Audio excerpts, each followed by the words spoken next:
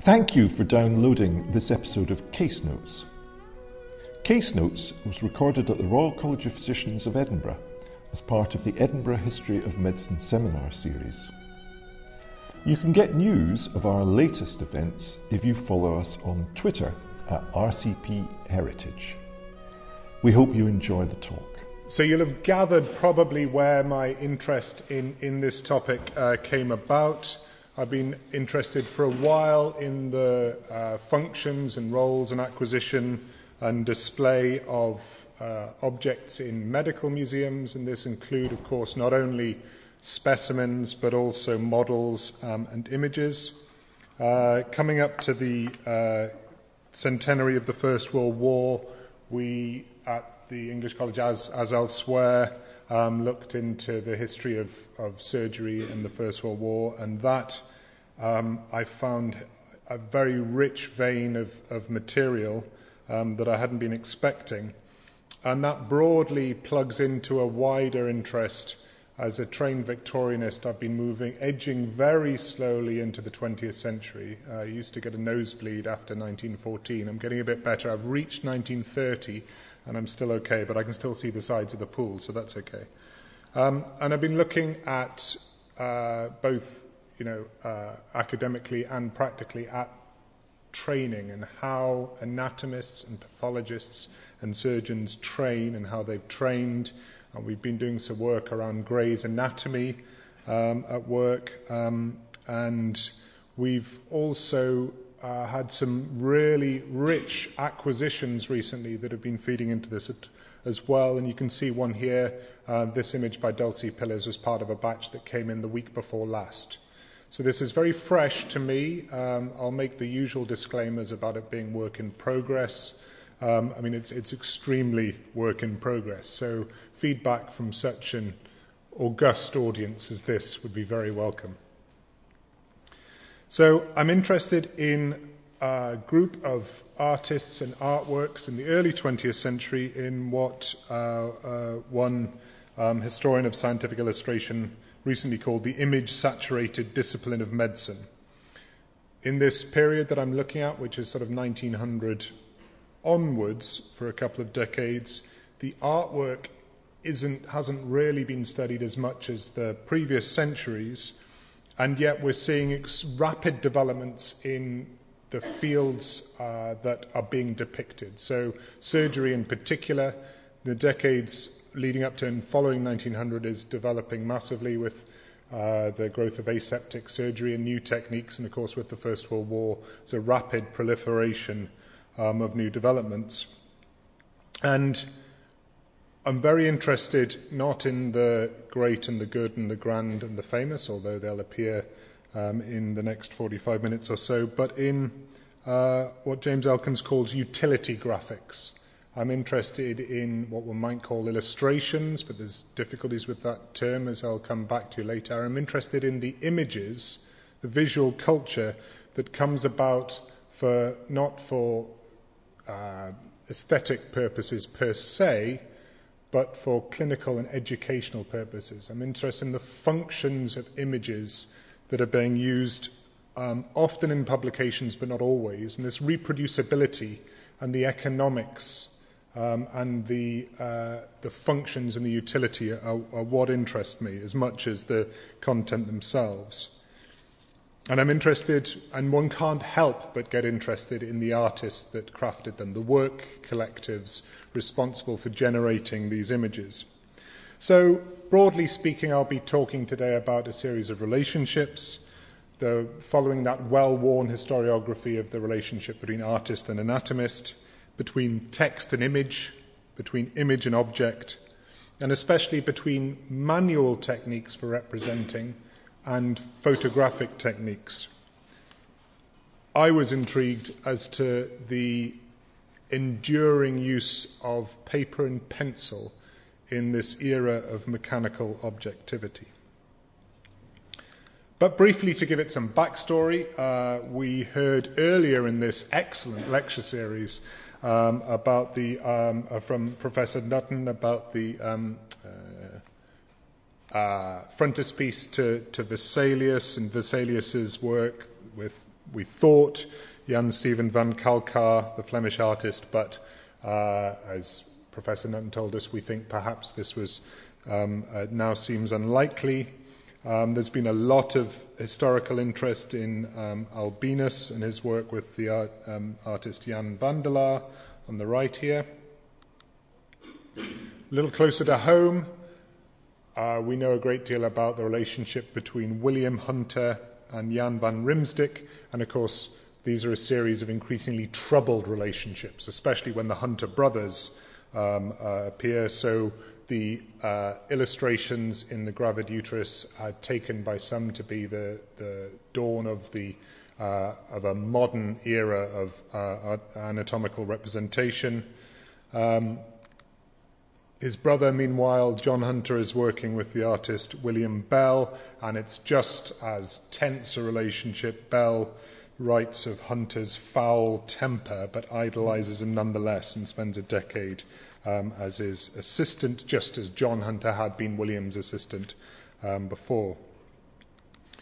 Uh, Ruth Richardson's done excellent work on the relationship between uh, Henry Gray and uh, Henry Vandyke Carter. Um, and so we've got uh, one of the illustrations of the first editions of uh, Gray's Anatomy, as it came to be called, on your left. And on the right, the India proofs of Vandyke Carter's illustrations for the first edition that we hold um, at the um, English College, which are just stunning, and we've been looking at them in great detail relation, um, uh, uh, recently. This series of troubled relationships has become a sort of well worn, uh, a great fun, but a well worn story in the history of, of uh, anatomical art. Um, and we'll perhaps move away a little bit from that in, in what follows. Uh, in my broader interest and the research I've been able to do here as well, I've been looking not only at two dimensions but also at three. And I won't talk very much about waxes today in the end. I ran out a little bit of space.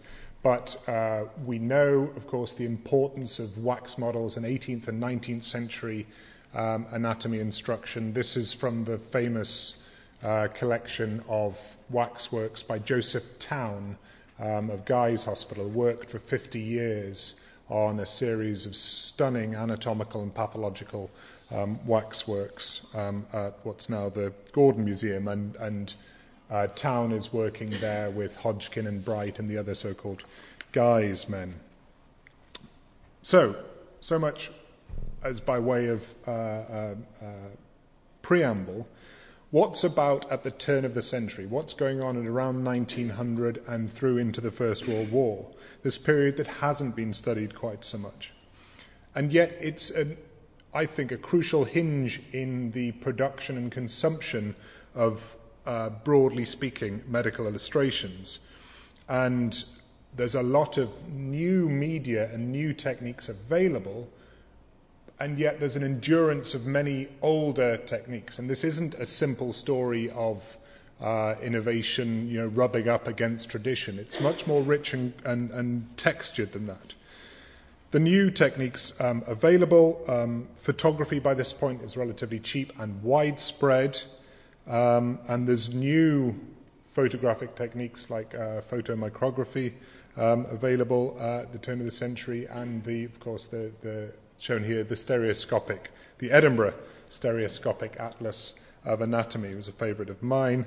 Um, all photographs, um, no artwork. The moving image is also available to uh, the medical profession as a training um, tool.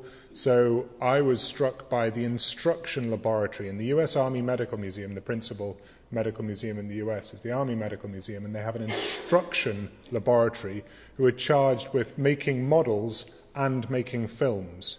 So these media rub shoulders largely happily. X rays, of course, take, are taken up very, very quickly um, at the turn of the century. And there's an uh, example here of a First World War um, facial uh, um, reconstruction from our odontological collection. X rays are undertaken surprisingly quickly in, in the field um, and take a little longer to make their way into the standard textbooks. Grays uh, resists X rays until 1938. But in this period, these early decades, uh, anatomical, surgical, medical publications are growing in number and in size, and multiple, multiple editions are available. Gray's Anatomy starts the century at a, a, thousand pages with about a thousand illustrations, and by the Second World War has 1,500 pages still in the single volume, with 1,300 illustrations, including by this point x rays, 600 of them in colour. So the sheer volume of illustration um, is striking, and in there you get this mix of uh, new illustrations, there's maybe 100 new illustrations for every edition of x rays, of colour. Different artists are in there, some of the artists I'll talk about today, as well as um, the, uh, a lot of um, Vandyke Carter's original illustrations are still um, in there um, at that period. Cunningham's, too, a little closer to home, is of a similar scale to Gray's and similarly recycles images edition upon edition um, although Cunningham's introduces X rays in 1922, a little bit earlier. Line drawings, a traditional technique, continue to be used long after halftones become economically feasible. Um, and textbooks recycle images from other textbooks. Cunningham's takes a whole bunch of uh, already existing images. There's a transfer of images from textbooks from into and back from instrument catalogues from the commercial sphere, and Claire Jones has talked about that in some detail in her excellent recent book. There's an economic element to this. A woodcut block could be used up to a quarter of a million times and still give good results. Away from publication and into teaching, into the lecture hall, illustrations, blackboard drawings are still used. Jamieson here, um, here in Edinburgh is extremely adept um, with the blackboard, and in fact, his publications, which we'll come back to later, are based on his original blackboard drawings.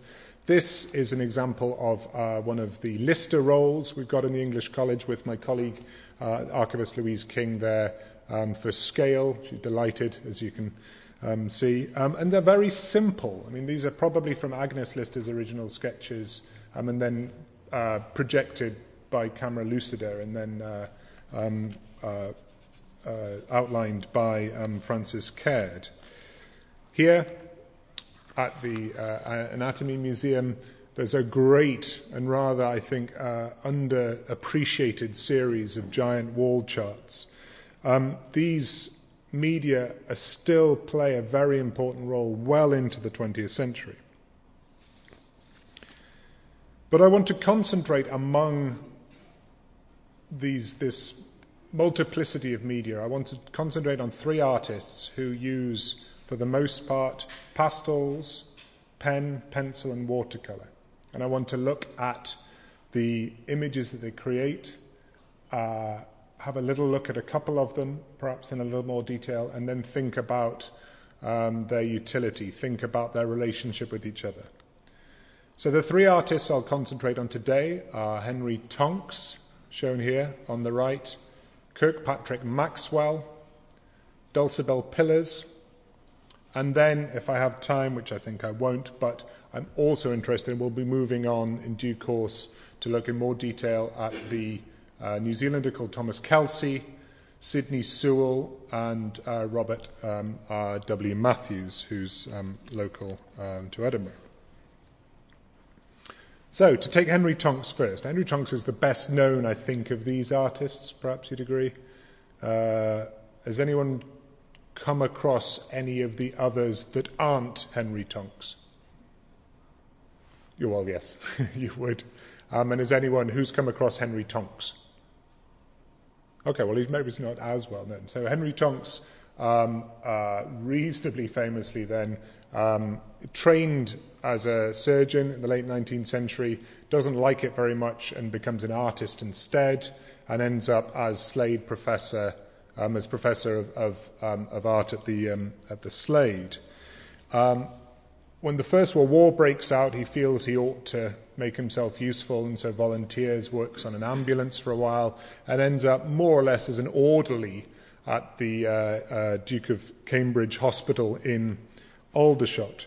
And it's there that the uh, pioneering self promoter and plastic surgeon Harold Gillies finds out he has the famous Professor Tonks in his basement um, and gets him to undertake some surgical diagrams for these new techniques that the plastic surgeons and the uh, oral surgeons and the dental surgeons are using to put together, put back together the faces of the uh, service personnel injured in the trenches. So Tonks is originally engaged to do this sort of work, but very quickly he starts to undertake this sort of work as well as. This is Private Walter Ashworth of the 18th West Yorkshire Regiment, the so called Bradford Pals, who was injured in the Somme and then was transported back to Aldershot and uh, endured three uh, facial operations for the uh, wound um, to his mouth and cheek. These pastels by Henry Tonks probably drawn at the patient's bedside. Pastel, as you'll know, is an unforgiving medium. To be as precise as this takes an exceptional and impressive skill. And Tonks produces very sensitive and faithful portrait. For portraits, these are now. He's gone well beyond his remit. These aren't particularly fit for purpose as clinical illustrations. Um, they flake, they're fragile, um, they're not kept in with the rest of the patient file. But his use of colour is striking, and we'll come back to this over and over again a striking use of colour. The red of Ashworth's swollen lips in the pre photo merges into the torn flesh of his cheek and then into the ghastly chasm torn into his face. The wound is clean by now, but nonetheless clearly agonizing. The bowl underneath reminding us of both the pain of the saline uh, washes that the patients would have had to endure on a regular basis, as well as the ignominy of uncontrolled saliva, of not being able to speak and not being able to eat. A lot of what Gillies and his colleagues were doing was um, around enabling the patients to recover enough to eat and to speak, to very basic functions. Post operative, his scars remain vivid, there's still the use of the red, and the eye is drawn to Ashworth's scars, but this is a tidier image. It's calmer, arguably, it's more carefully rendered, as if Tonks is able to spend more time on it. The reddish hair that Ashworth, only 23, is already receding, has been tidied. Tonks has the time to colour the background, which there are 75 of these images surviving, and only a handful of them have a coloured background like this. And he's put, he's reclothed Ashworth. Ashworth gets his skin back, he gets his clothes back. This is, of course, the hospital uniform. Although, in this case, interestingly, not the very striking red tie that they wore. Nonetheless, Ashworth remains isolated. He's decontextualized, and this stands in contrast. Tonks's peacetime work, rather chintzy interior portraits of society figures, are very busy. This is isolated. Ashworth stands alone against a neutral background. And his gaze is averted. He's turning slightly towards us now, post operative, but his gaze is averted. And we see him exhibiting uh, what Gillies called a whimsical, one sided expression which is not entirely unpleasant. And Gillies could be quite damning of those uh, operations that he saw weren't successful.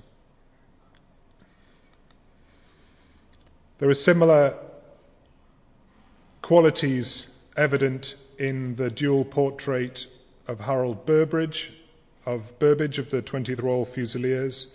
He's much older than Ashworth when wounded, he's 37 and has a gunshot wound to his chin. It takes him a month to get to Aldershot, by which point his wound is already starting to heal, um, which uh, uh, pins his lip in a ghastly position and again will give him problems eating and talking. Tonks does the initial picture, looks much rougher, seems hastier, there are smudges and clouds. Burbage is unkempt and bearded, his hair Again, there's no particular reason in a clinical drawing to be paying such attention to the hair of the patients. Post operative, he's calmer, he's tidier, he's clean shaven. But we still see the ghostly scars that are the legacy of the procedures that he endured. There are 75 of these. I won't go through all 75, but you can in the new Royal College of Surgeons of England book available online. Um, uh, get the complete, for the first time, the com- first time in full colour, the complete set of all of the Tonks um, images at the Royal College of Surgeons of England, and there's three at UCL. And they're juxtaposed with a contemporary artist called Julia Midgley, who worked as a reportage artist who uh, uh, spent time with um, surgeons in training and service personnel in rehabilitation. I'm interested in the relationship with photography. In the book, we put in all the corresponding photographic records that survived that we could match up. I'm interested, as I already mentioned, that these pastels aren't particularly fit for purpose. They're very fragile, they're friable. Even now, when they're framed at great expense, you know, we still have to be extremely careful with them. The relationship between Gillies and Tonks, as far as we can tell, was disappointingly collegial. Um, but there's a difference in status here. Tonks trained as a surgeon, Professor Tonks. Um, the relationship perhaps between Lieutenant Tonks, as he was, and the uh, patients, who are usually privates, uh, um, private soldiers, is perhaps more interesting. The second of the three artists I'd like to talk about in some detail is Kirkpatrick Maxwell, the son um, shown here. Maxwell is the son of a Scottish printer, uh, apprenticed to a lithographer in Glasgow, trained in drawing and engraving, trained in you know the applied techniques, and he works at Glasgow, then at UCL, and later, much later, at Cambridge. During the First World War, he's sent by the Medical Research Committee, that which would become the Medical Research Council, they almost immediately, very early on, send out two pathological artists, not photographers, artists, out to the Western Front to sketch. And I think that itself tells a great deal about the utility of this sort of work in this period. And so we see Maxwell here at the makeshift laboratory at the casino in Boulogne, uh, where he worked under uh, the eccentric Almroth Wright and then a young bacteriologist called um, Alexander Fleming, um, who I'm sure would never amount to anything. Maxwell also went out to the casualty clearing stations, the near frontline hospitals, and sketched patients and the implementation of not new treatments, but the implementation of particular treatments and technologies, including here, immediately recognizable, the Thomas splint, an iconic First World War uh, orthopedic device. And this relatively simple sketch, which I at first flicked past, looking for you know more ghoulish, more ghastly, more dreadful wounds. And it was only when I came back to this, I looked at a little more closely, I realised how much it spoke of Maxwell's style. It's carefully rendered. It's almost gentle, given where he was and what that soldier was going through it reveals nothing of the chaos. This was undertaken at a casualty clearing station, uh, as you can see at the top. There's nothing there to reveal the chaos that was going around. I mean, these were often under fire. The blanket, and indeed the rest of the patient, drifts off into the distance, isolating the injury and the device. While at first glance one might think of it as rather sketchy, I'd argue that if you look closer, you see that the simple shading, the apparent deceptively simple shading, emphasizes the curvature of the handle and the tension of the supports, keeping the leg above the bed, above the um, stretcher. I'd struck by the care that Maxwell took with the details, the rivets on the stretcher, the stitching on the leather at the top as that is to say, the left hand end of the, of the splint, and the knots keeping the splint um, airborne. The heavy lines on the metal and on the leg draw the eye, and better, I suspect, to convert it for publication.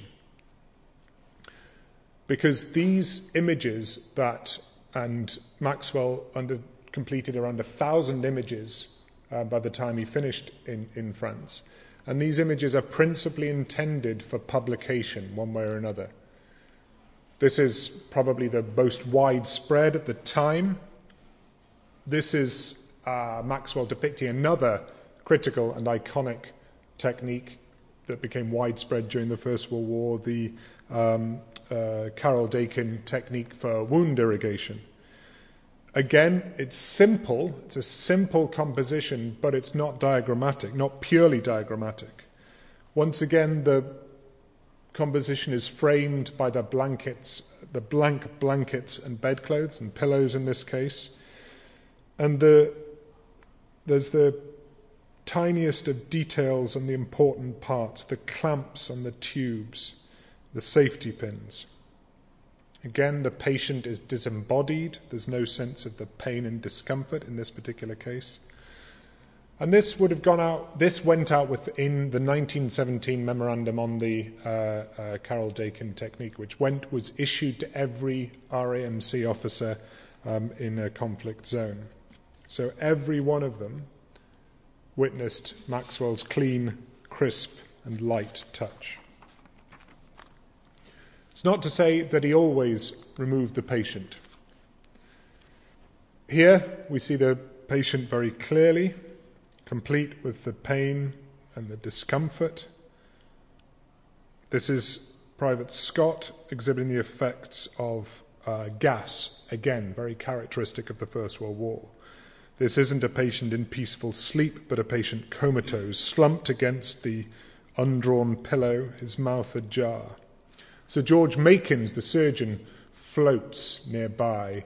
We don't know whether it was actually this is him actually benignly looking down at that patient. It was on it's on a sort of sketch pad, so he might have just been um, um, using it later.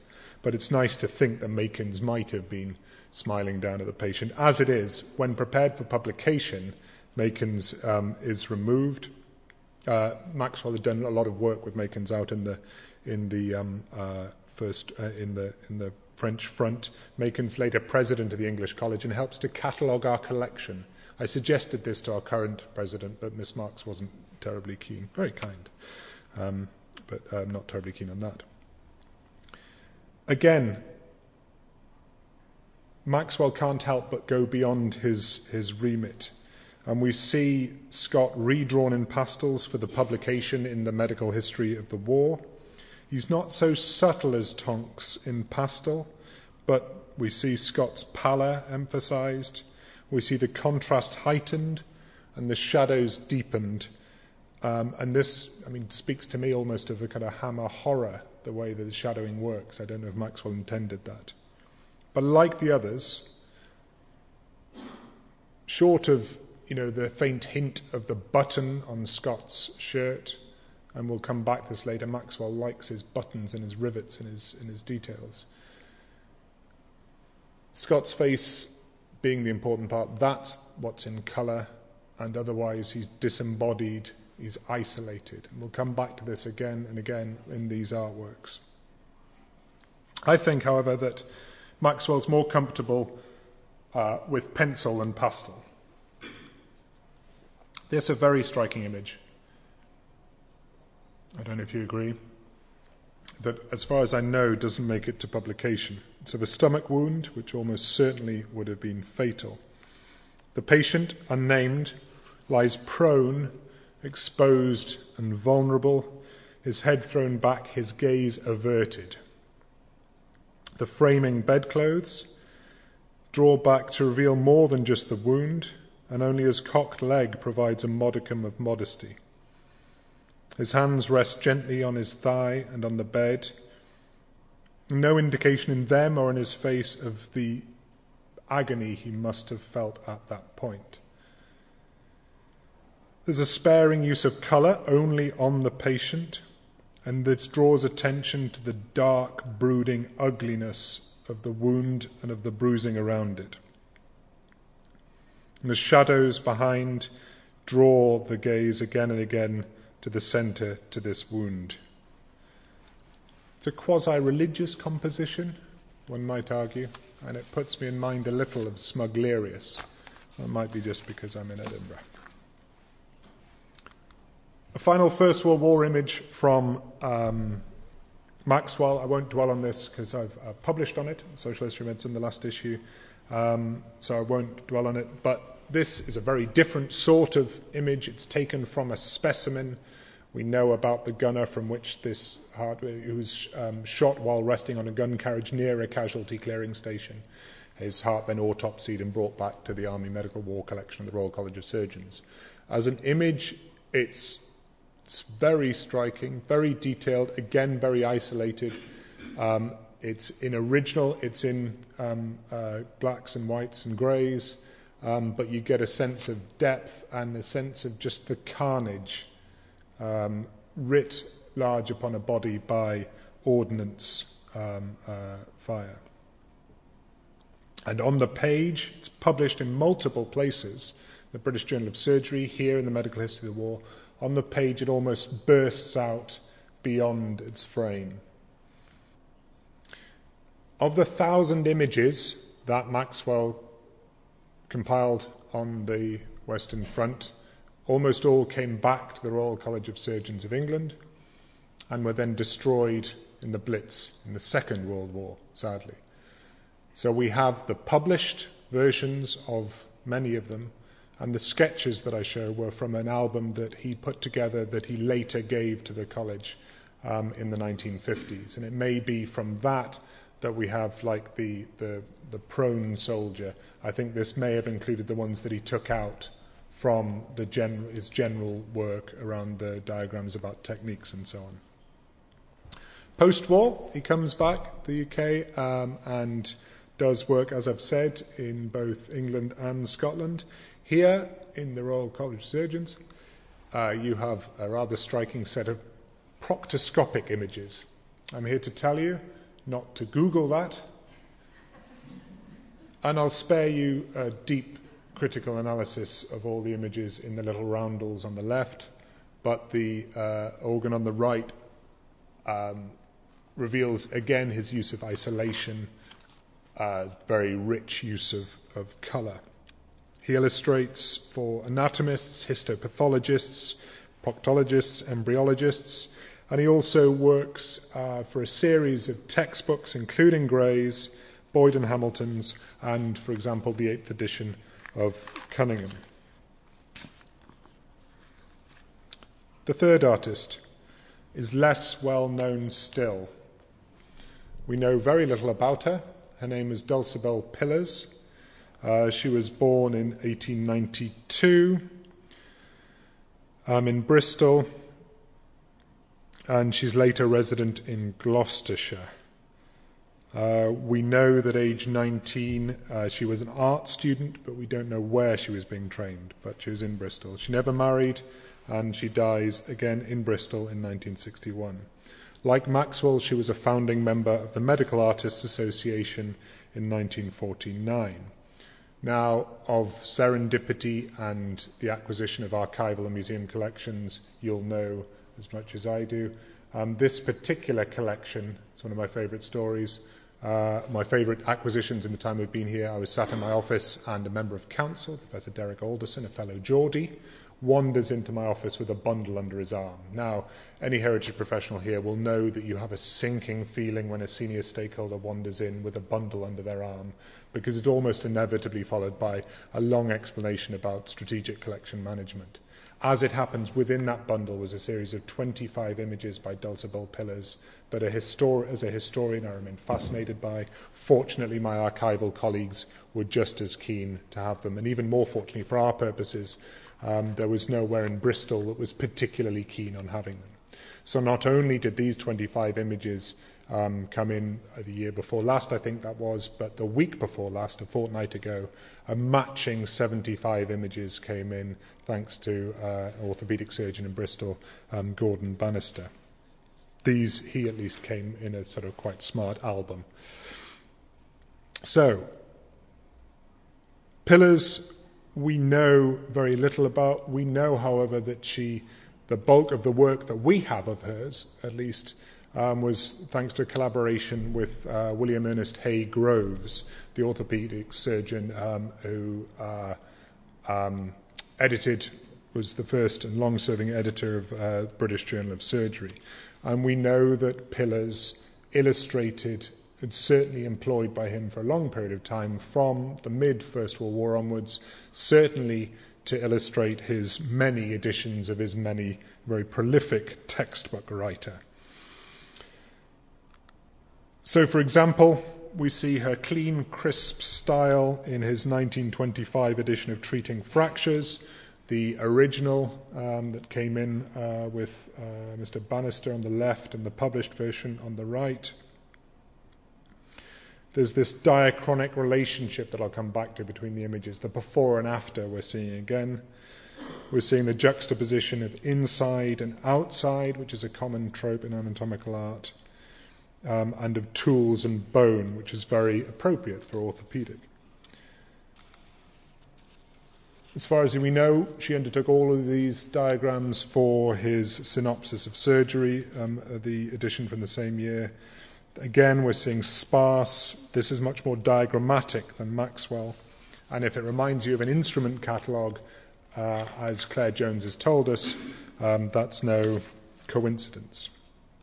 Her most stunning work, however, rarely gets published. This is the one uh, instance of the sort of work um, that I'm going to talk about in a moment that does get published. But in the archival holdings, and this is bone grafting, um, uh, sort of semi diagrams of bone grafting operations. But in the archive that came in, there's a whole series of them. So, take, for example, that of Private Humphreys in 1919. Probably from a swift sketch in theatre, we've got some early sort of rough versions and then tidied up later. Again, we're seeing here more so than Maxwell and Tonks that it's sanitized and isolated. And she's capturing in the main image a single instant with the details that are most important to the surgeon. This is far more fit for purpose as an image, I'd argue. We see no skin, no details of skin in any case, but rather the eye is focused on the clamps and the retractors. Her sparing use of colour highlights the elements crucial to the anatomy of the operation the radial vein. One extensor, but not the others, is coloured. Coloured too is the periosteum wrapped around the graft which I'm told by Mr. Bannister wasn't actually terribly useful. Orthopedic surgeons in the audience uh, might be able to correct me on that. She uses light very effectively to give depth. The grafted bone seems to float in a weirdly hollow um, limb. I mean, as you know, my appointment letter to the university doesn't permit me to practice. Um, but I imagine that there's a lot more going on during an operation than she shows here. But everything else is drawn back. I'm fascinated that she has the main diagram and then many subsidiary illustrations. So we've got a moment in time in the main, but then a sequence evident in the rest. There's also reproduction of an X ray that I won't dwell on given time, but I find this fascinating that X rays are being reproduced. We've got some of the X rays in her file, but she reproduces them because she's able to do so to make it much simpler, much easier to see. Skiography, after all, the initial skiograms, x rays, means the science of shadows. These aren't immediately readable um, to anyone, x rays. They need to be, this technique needs to be learnt. You need to learn to see. She crowds the page, and this is why I've shown you. Interestingly, Mr. Bannister brought with him a disc uh, that he'd had professionally rendered the photograph. But being medical, of course, all the images had been cleaned up. They were perfectly precise on perfectly white backgrounds. But you missed the clamps, and they, would cut out all the wonderful archival history of, of, the, of the images. And you can see that she's almost filled the page that she had available. You see legends with dotted lines, redolent of Gray's, Gray's, after all, famous for the halo of labels that went around its images, comparing with none on Tonks and very few in Maxwell's. Again, in Lance Corporal Whiting's case, we're seeing a sanitized operation, seeing watercolor and ink contrasted to devastating effect. We're seeing the limb, the rest of the limb, fading off into the distance, a technique that Maxwell used. Our eye is drawn to the terrible sharpness of the fractured bone. And in this instance, as opposed to the previous example, the flesh at the edge of the wound is ragged and textured. And again, we're focusing on the tools. No circular saws at work in this one, um, as with the published image. And fascinating as well, the use of dotted lines to indicate the continuation of the bone. Like many scientific images, Pillars is rendering the hidden visible. We're able to see inside the body. I'm told as well that uh, Hey Groves' uh, technique of sawing off all the messy bits at the end of the bone actually made them much less likely um, uh, to heal, but I guess one lives and learns. So, these three artists are among a group that I'm enjoying and looking forward to looking at. Others include Sydney Sewell, who I won't dwell on, um, who was, like Maxwell, sent out to the front during the Great War and then later does a great deal of work for textbooks, including um, on the right um, uh, James Berry's Cleft Palate um, and Hare Lip. I'm also intrigued by the work of R.W. Matthews uh, with very rich holdings um, here in the Royal College. Trained in lithography and design at the Edinburgh College of Art, he works with David Middleton Greig, the conservator here, shown here in agonizing detail the curvature of uh, the spine um, of a patient whose records are kept here. He also works with the university, um, and uh, rather striking, I haven't seen very many sketches of the dissections of orangutans, but this one, it strikes me, as rather finely rendered. He also publishes, uh, uh, contributes to Cunningham's textbook and Jamieson's illustrations of regional anatomy. Certainly, the second batch of editions of those Matthews is closely involved with. By this time, he's on the staff of the publisher um, E.N.S. Livingstone. And these are described, his work described rather patronizingly by a fellow uh, Edinburgh medical artist as pleasing and anatomically accurate. And I guess you can't want for much more than that as a medical artist. He's also a founding member of the Medical Artists Association in 1949. I'm running short of time, so I won't dwell on the third dimension. This is Thomas Kelsey, uh, the New Zealand um, uh, uh, sculptor um, who works on the patient's um, works on and for the uh, plastic surgery patients and surgeons, including this rather striking 1917 um, training model. And this relationship between two dimensions and three is important, as we can see here from an example, my favorite example of the 20th century importance of the relationship between image, object, and text. We have the student with his textbook, his image, and his object all together um, and also his pipe, crucially important, of course.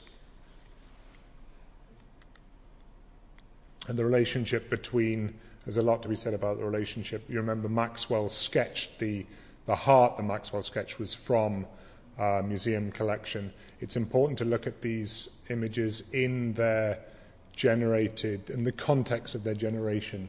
So this is a, uh, by Pillars, and it's taken from a specimen in the Royal College of Surgeons of England. This is a Matthews image next to the corresponding cast from the collections here. The relationship between two dimensional and three is very important.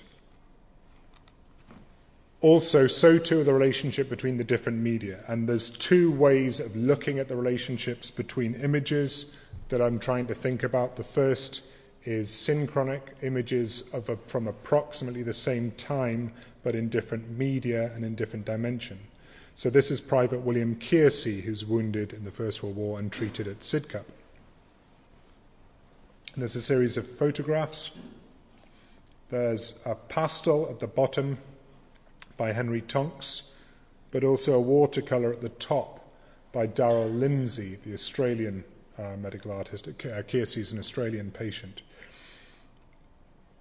A life mask is made for clinical purposes.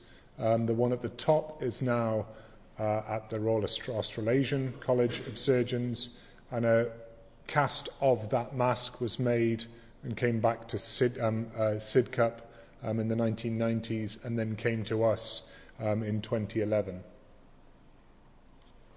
This is a striking example of what philosopher of science William Wimsatt calls a thicket of representation. And these copy relations are rich and complex. As far as we know, Tonks and Lindsay both drew from life. But the relationship between the photographs and the casts and the casts and the um, medical illustrations are rich and complex. More interesting, even more interesting perhaps, is the relationship between medical images and time. Pathology and surgery are highly time sensitive disciplines. You need to sketch something at a particular time or it's going to change, whether by disease or by design. Sequences become crucial. So here we have sequences by Pillars of operations of Hey Groves' operations. Um, Packer on the left from the archive, and then from his uh, Hey Groves' Treating Fractures book from 1922. Good examples of what Bruno Latour calls a cascade of images, a chain of representation. Think also of Tonks before and after pictures. These are the ones that we go back to again and again, although many of them are, are only um, one or the other. And Maxwell as well does a series of sequential images. And these sequences reveal a great deal about my principal interest, which is in the use of the collections. Many, but not all, are for publication, where they are reproduced, where they circulate, where they act as proxies so that the patient and the practitioner or the specimen doesn't have to move. The images can circulate so that the object or the person or the technique doesn't have to. They're, for the most part, singular images of particular patients in particular time from which the reader or the viewer is intended to make more general lessons. And they're clearly, one way or another, performing a didactic training function and including, although I won't dwell on it, um, a redrawing is an important part of that. Um, I was delighted when I went in to see our Student Saturday in our teaching collection just this past Saturday. And from the centre of the museum, I could see three surgeons in three bays, each with a group of students. One with a PowerPoint, one holding a rib, and one drawing. It was quite wonderful. I didn't have one of those um, panoramic cameras, otherwise I would have taken it. Oh, this is uh, the notes in the back of the first edition of, of, of the Cunningham first edition, um, Cunningham's um, textbook. so, if their actual use is elusive, you don't often come across um, this sort of example. Um, the study of the, uh, the artworks in their context tell us a great deal about their intended utility. And it tells us a great deal about the investment and the importance placed on extra textual elements of anatomical and surgical training, with objects, with illustrations, and of course with hands on techniques. It's clear that there's a considerable amount of labour and investment that goes into these, and the relationship between artist and anatomist, between surgeon and illustrator, is crucial and there's a story to be told about the work collectives, about the prosopography of these particular artisans. Martin Kemp, the art historian, not the member of Spandau Ballet, um, argued probably provocatively that you know there isn't much about anatomical artwork style after the first edition of Gray's. It all gets a bit messy. That it's you know non-style becomes a style. I'd hope to have shown you today that that certainly isn't the case with this particular group of pathological draftsmen, as they describe themselves, and that Daston and Galison's account of the tension between mechanical objectivity and individual artistic interpretation um, is alive and well in this period, that interpretation endures against this backdrop of ostensibly objective procedure. Thank you very much.